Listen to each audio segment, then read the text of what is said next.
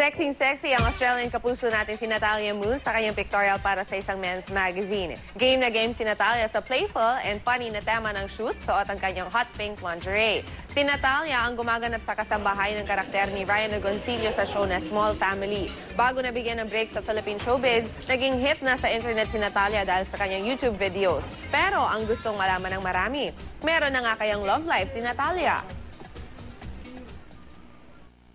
Wala po. Oh, I don't have, pero I like Filipino. I like chinito and mar- like dark skin, um, but funny.